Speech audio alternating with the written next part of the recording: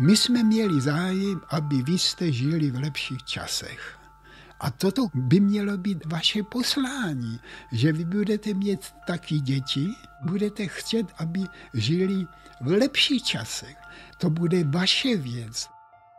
Já říkám, každý by měl jít chvílku do toho koncentráku, co tam za války byly, tak by věděli, co to bylo Hitler.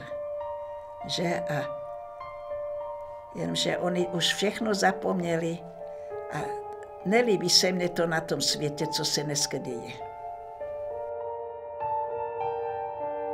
ty oběti, které lidi přinesli, aby u nás byla svoboda, tak byly skutečně zbytečný, když se potom se svobodou zachází tak, jako se zachází dneska u nás. Za komunismu jsme znali svého nepřítele, ale v dnešní době to člověk nepozná. Jak poznat, kdo tam jde z přesvědčení a kdo tam jde za majetkovým zájmem nějakým. Na těch billboardech to se nepozná podle toho obličeje.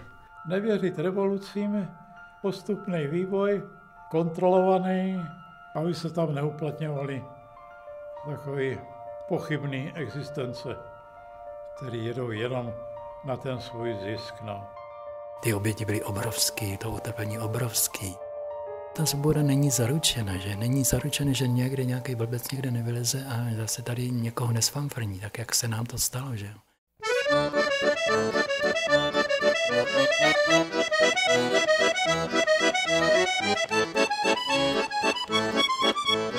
Spojenci nám můžou, ale taky nemusí pomoct.